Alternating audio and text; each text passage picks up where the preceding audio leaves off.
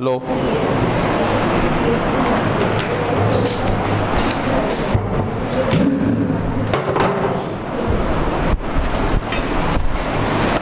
कल का टॉपिक हम लोगों का कहाँ तक कंप्लीट हुआ है?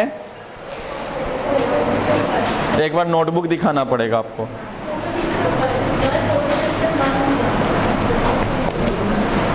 यस हम्म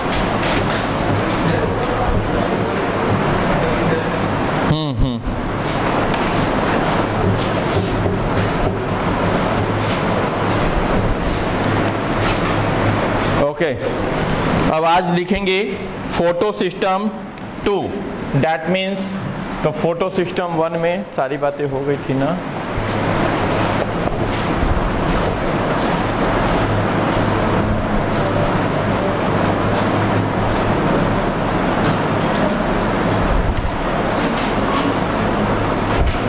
पीथ एब्जॉर्प्शन नहीं peak absorption P I C के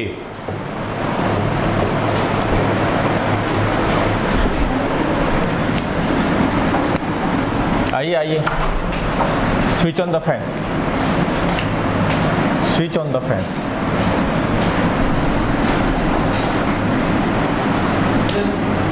हाँ। हेलो आज हम लोग फ़ोटो सिस्टम टू करने वाले हैं।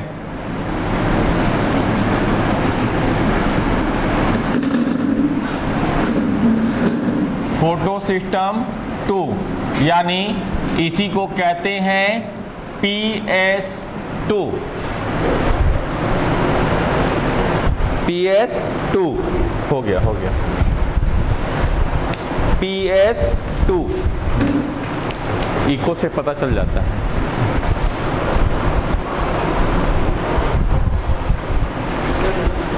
पी एस टू आज हम लोग पी एस टू करने वाले हैं. आया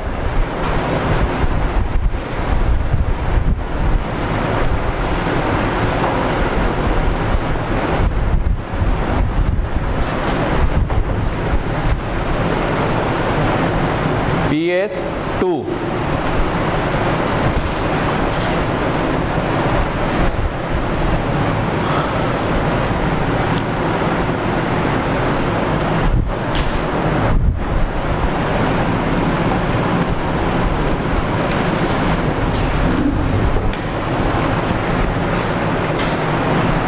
अब हो गया।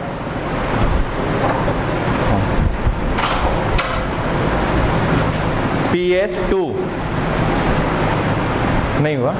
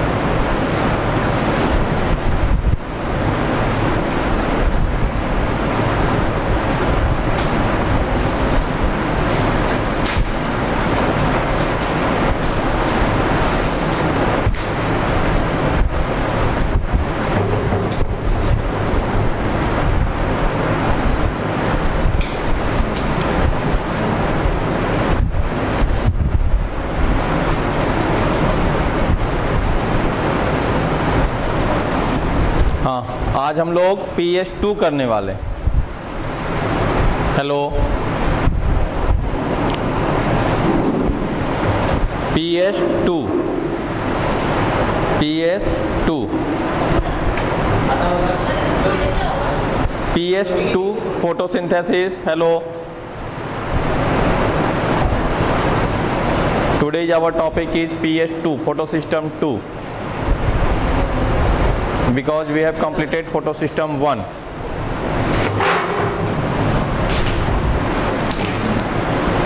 तो चलो बेटा, हम लोगों ने कल पी एस वन को कंप्लीट किया था और आज हम लोगों को पी एस टू को कंप्लीट करना है। तो देखिए पी एस वन में जैसे कल हम लोगों ने देखा था कि पी एस वन दोनों जगह होते हैं। फिर से क्या क्या?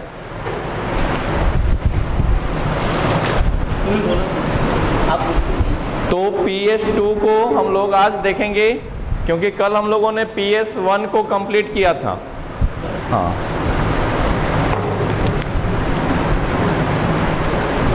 PS1 में आप लोगों ने नोटिस किया होगा कि PS1 में हम लोगों ने क्या क्या देखा था। तो PS1 में कुछ इंपॉर्टेंट बातें जो आपको कल नोट डाउन कराया है, उसको आप देखिए नोटबुक में।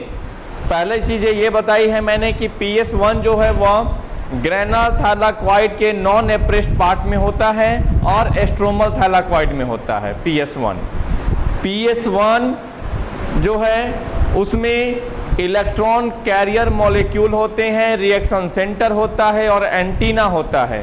पी एस वन का रिएक्शन सेंटर जो है, वह dimer of chlorophyll A molecule होता है, यानी क्लोरोफिल ए मॉलिक्यूल के, क्लोरोफिल ए के दो मॉलिक्यूल यह एक स्पेशल क्लोरोफिल ए का मॉलिक्यूल होता है, जिसका एब्जॉर्प्शन पीक पॉइंट 700 नैनोमीटर पे होता है। इसीलिए इसको P6 P700 से भी इंडिकेट करते हैं।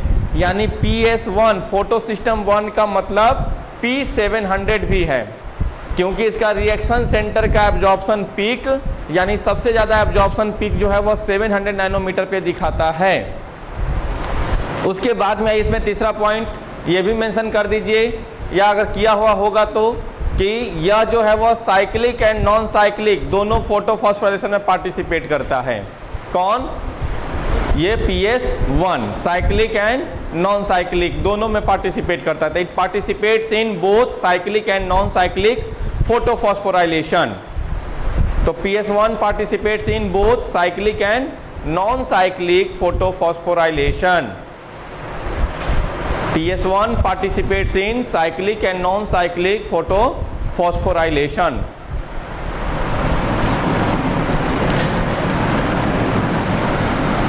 Next आइए देखिए फ़ोटो सिस्टम टू के बारे में। फ़ोटो सिस्टम टू ये जो है बेटा, ये लोकेटेड होता है। लोकेटेड ऑन तो कहाँ लोकेटेड है?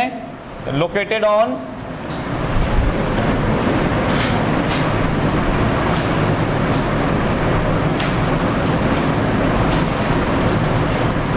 ग्रेना थैलाक्वाइड ये ग्रेना के thylakoid located on grana thylakoid of appressed part तो ग्रेना थैलाक्वाइड के अप्रेस्ट पार्ट में होता है कौन? PS2 PS2 में ही PS2 सिर्फ़ नॉन साइक्लिक फोटोफॉस्फोराइलेशन में पार्टिसिपेट करता है।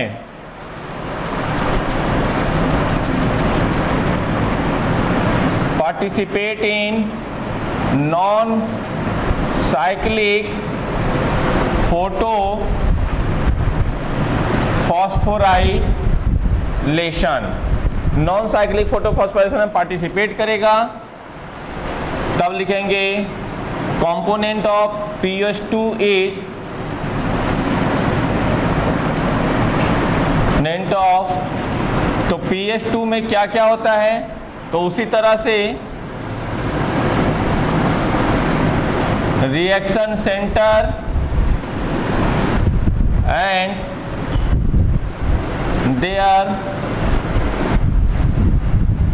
absorption absorption peak is 680 nanometre so it also indicate as P six eighty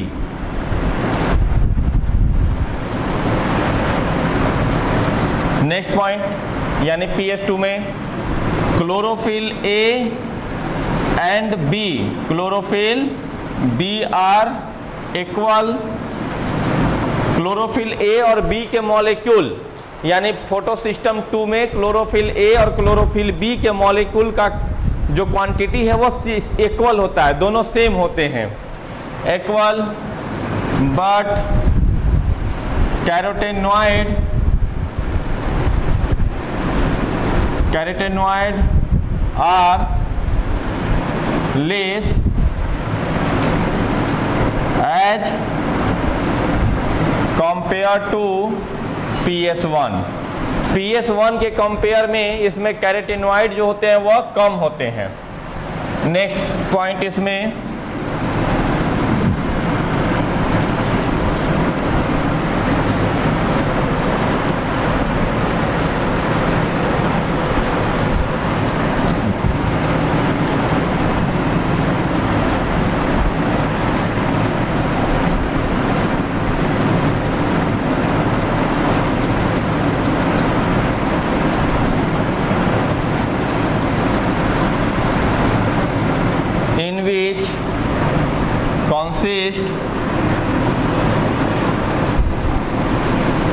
reaction centre reaction centre antenna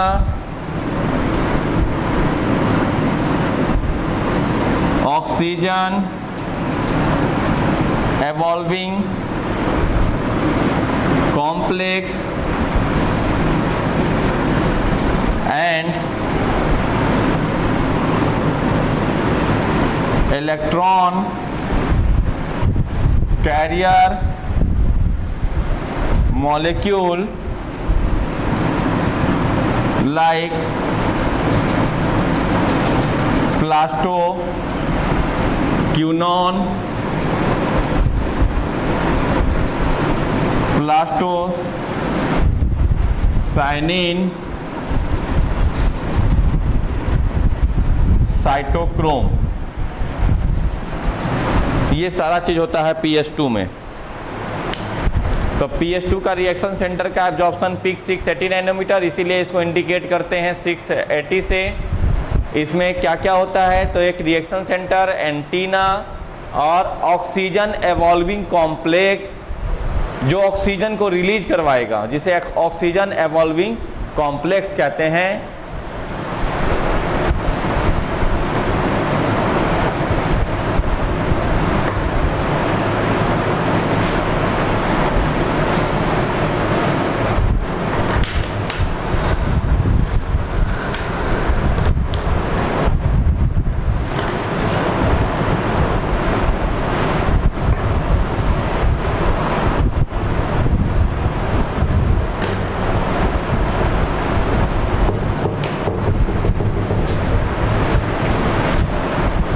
यहाँ तक की बातें हो गई सबको।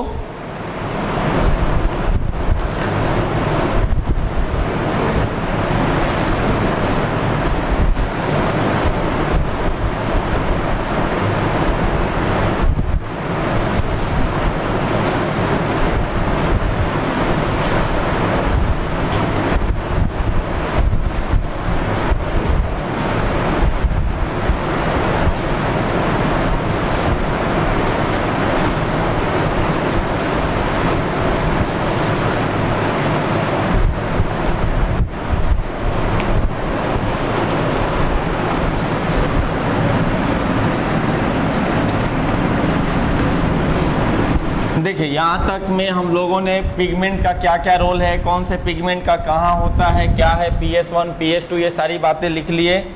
अब फोटोसिंथेसिस का जो पूरा काम है मतलब फोटोसिंथेसिस का मतलब ही है कि कार्बोहाइड्रेट या ऑर्गेनिक कंपाउंड का बनना in the presence of light and chlorophyll यानी क्लोरो क्लोरोफिल और लाइट के प्रेजेंस में जो कार्बोहाइड्रेट या ग्लूकोज का फॉर्मेशन होता है, उसको फोटोसिंथेसिस कहते हैं। और ये फोटोसिंथेसिस का काम जो है, वो टू स्टेज में पूरा होता है। कितने स्टेज में? टू स्टेज में। तो आप ये देखिए कि वो टू स्टेज क्या हैं।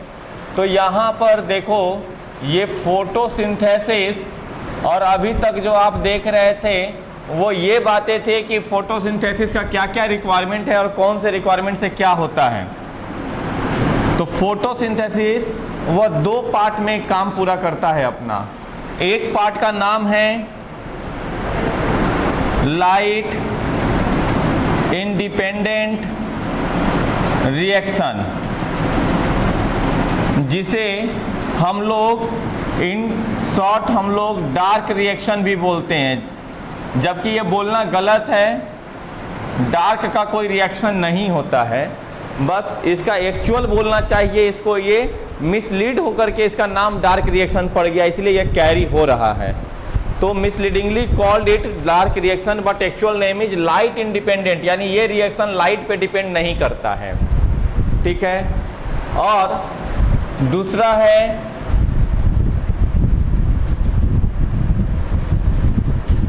light dependent reaction light independent reaction और लाइट डिपेंडेंट रिएक्शन ठीक है? लाइट इंडिपेंडेंट रिएक्शन में हम लोग पढ़ेंगे C3 cycle C4 cycle CAM plant and photophosphorylation क्या पढ़ेंगे? सॉरी फ़ोटो फॉस्फोराइलेशन नहीं फ़ोटो रिस्पायरेशन उसको फ़ोटो रिस्पायरेशन बोलते हैं। फ़ोटो रिस्पायरेशन ये चार चीज़ हो गया C3, C4, CM और फ़ोटो रिस्पायरेशन अब लाइट डिपेंडेंट रिएक्शन यानी ऐसा रिएक्शन यानी वो प्रोसेस जो लाइट के प्रेजेंस में ही हो सकता है that is light dependent reaction और इस रिएक्शन में हम लोग देखेंगे फ़ोटो फॉस्फोराइलेशन दूसरा photolysis of water and ATP formation ये सारा काम लाइट डिपेंडेंट पे होता है, ये सारा काम लाइट इंडिपेंडेंट रिएक्शन का पार्ट है। तो पहले हम लोगों को लाइट रिएक्शन देखना है then after light independent reaction देखना है। तो light independent reaction also depend on the light dependent reaction product हमने क्या बोला? कि वो लाइट इंडिपेंडेंट रिएक्शन जिसे डार्क रिएक्शन कहते हैं तो डार्क रिएक्शन तभी होगा जब लाइट रिएक्शन का प्रोडक्ट बने। और लाइट रिएक्शन में क्या प्रोडक्ट बनता है? तो लाइट रिएक्शन में बेटा दो चीज़ें बन के हमें मिलती है। एक मिलता है एटीपी और दूसरा बन के मिलता है एनएडीपीएच जब तक ये दोनों नहीं बनेगा, तब तक लाइट रिएक्शन ये डार्क रिएक्शन नहीं हो सकता है। तो light reaction also depend on the product of dark reaction पहले ये दोनों बना के इस तरह से एरो से दिखा दीजिए और तब लिखेंगे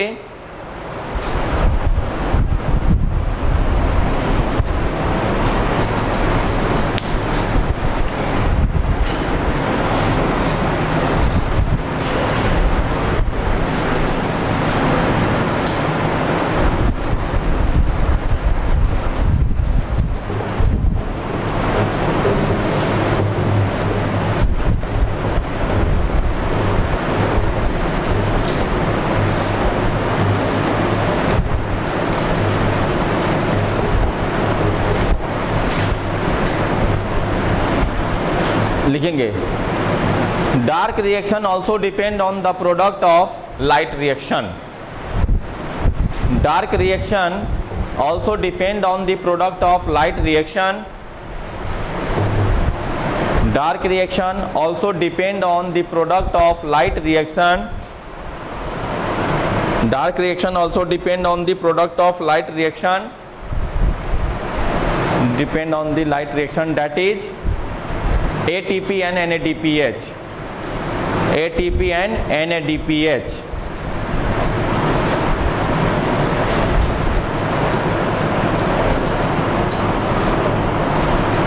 हो गया ATP एंड NADPH अब आइए।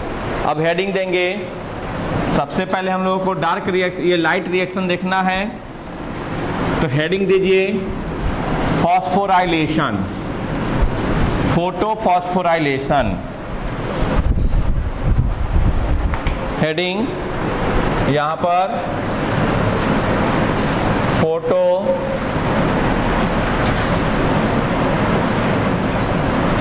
फ़ोटो फॉस्फोराइलेशन ये हेडिंग होगा आपका। तब लिखेंगे formation of ATP formation of ATP by light energy driven reaction और इसको डिस्कवर किए थे। डिस्कवर्ड बाय इसको किसने डिस्कवर किया था? डिस्कवर्ड बाय एरनॉन बस इतना दीजिए। और तब लिखेंगे इसमें इट इज़ टू टाइप ये दो तरह का होता है। कौन कौन? तो एक होता है पहले नॉन साइक्लिक फ़ोटो फॉस्फोराइलेशन। और दूसरा है cyclic photo phosphorylation. Cyclic photophosphorylation और non cyclic photophosphorylation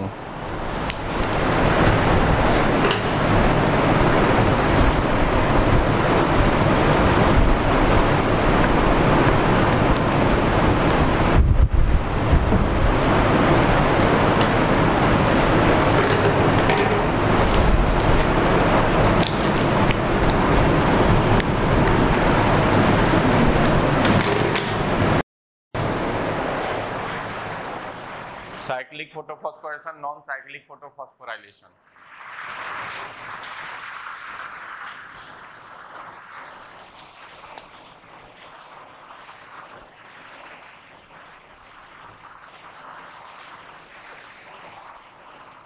हो गया। Cyclic and non cyclic photophosphorylation अब आइए हम लोगों को समझना है नॉन साइक्लिक फोटोफॉस्फोराइलेशन तो अब हेडिंग आपका होगा non cyclic photophosphorylation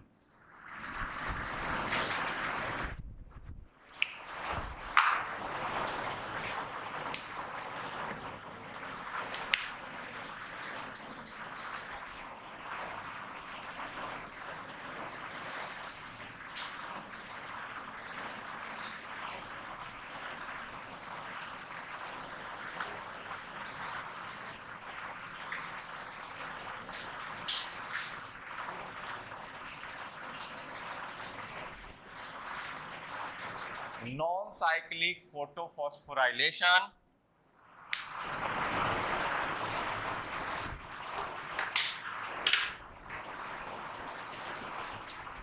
किसी चीज़ को नॉन साइक्लिक कब कहते हैं?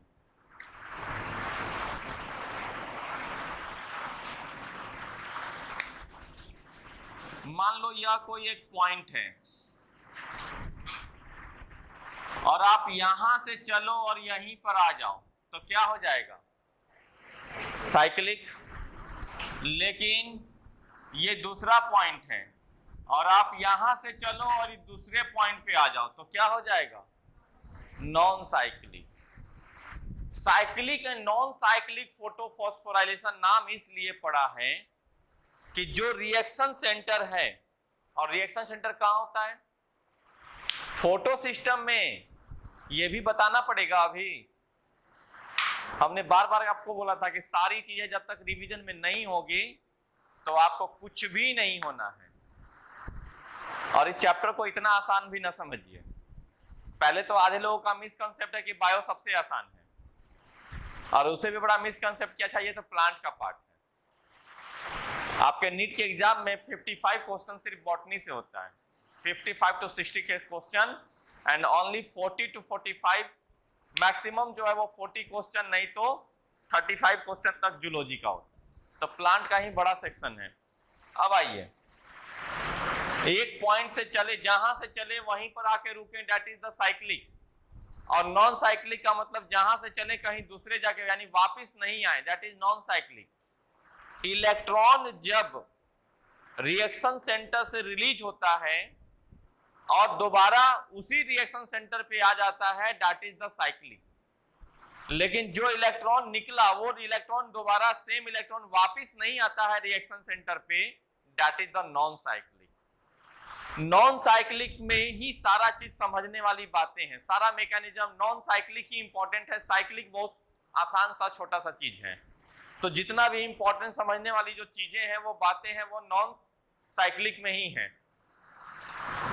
नॉन साइक्लिक फोटोफॉस्फोराइलेशन में दोनों पार्टिसिपेट करते हैं। कौन कौन तो P S two and P S one दोनों तरह के फ़ोटो सिस्टम मिल करके नॉन साइक्लिक फोटोफॉस्फोराइलेशन रिएक्शन को पूरा करवाते हैं। And non cyclic photophosphorylation reaction ये परफॉर्म होता है ग्रेना के थालाक्वाइड में।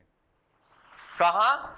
ग्रेनल थालाक्वाइड में। स्ट्रोमल थालाक्वाइड में नॉन साइक्लिक नहीं होता है। स्ट्रोमल थालाक्वाइड में सिर्फ़ साइक्लिक होता है। तो पहले तो ये समझो कि नॉन साइक्लिक फोटोफॉस्फोराइलेशन क्या है, कैसे क्या काम होता है इसमें।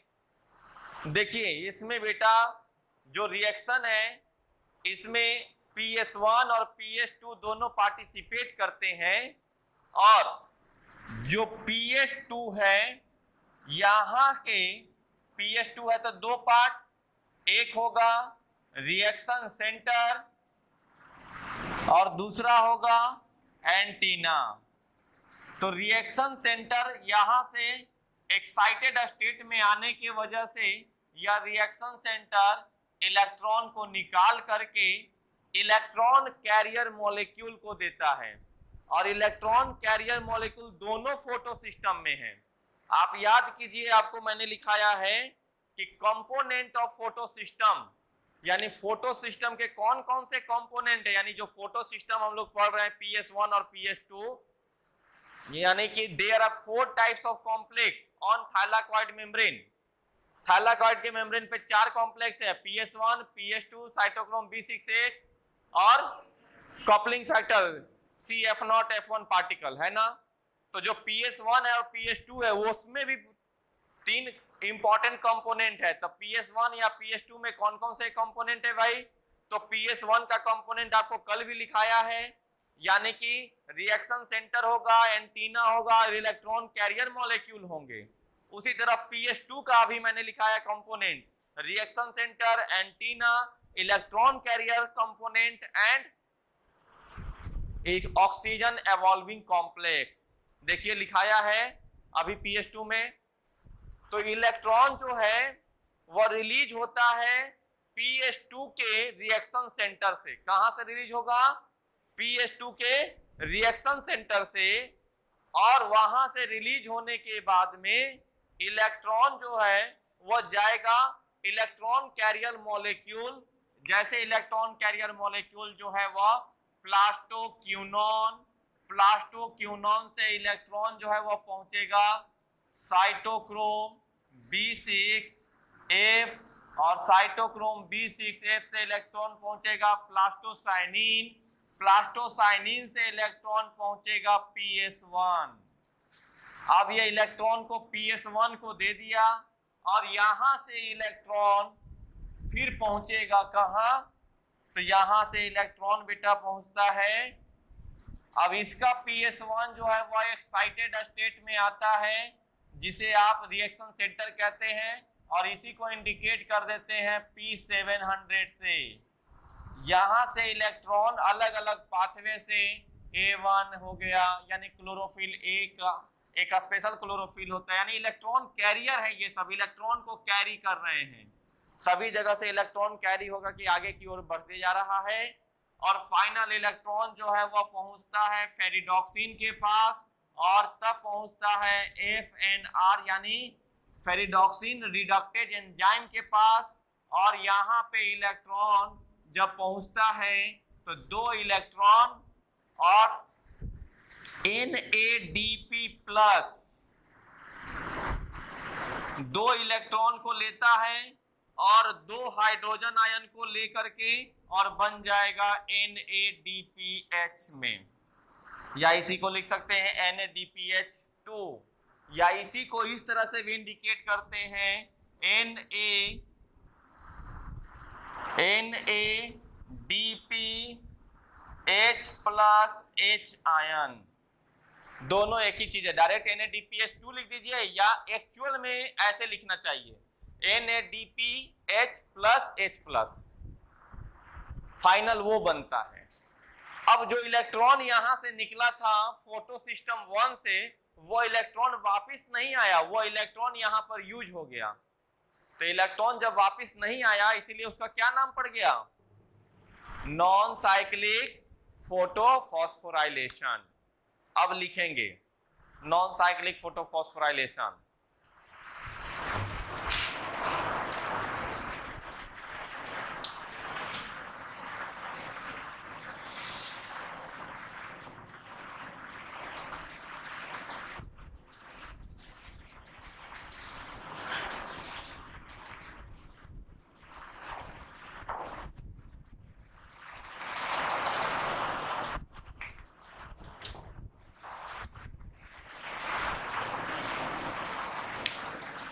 लिखिए both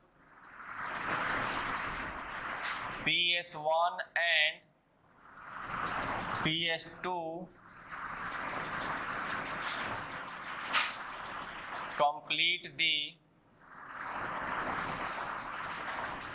reaction both ps1 and ps2 complete the reaction on granule thylakoid granal thylakoid पे ये काम पूरा होता है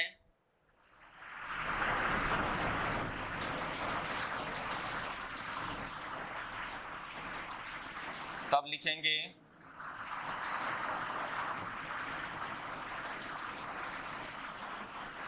reaction center of PH2 release release expelled release electron reaction center of PH2 release electron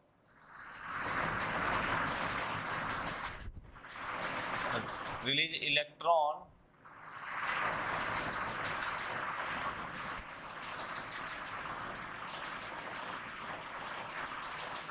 which does not come back so this is called so this is called non cyclic photo phosphorylation. Non cyclic photophosphorylation इसीलिए इसको non cyclic photophosphorylation कहते हैं। अब electron अगर लगातार निकलते चला जाएगा तो उसको भी तो इलेक्ट्रॉन की ज़रूरत पड़ेगी ना भाई। तो जो गैप ऑफ़ इलेक्ट्रॉन है, वो कैसे पूरा करेगा वह? तो लिखेंगे the gap of electron is maintained by photolysis of water. Photolysis of the gap of electron is maintained by photolysis of water. Electron का गैप जो है वो फोटोलिसिस ऑफ़ वाटर से मेंटेन होता है।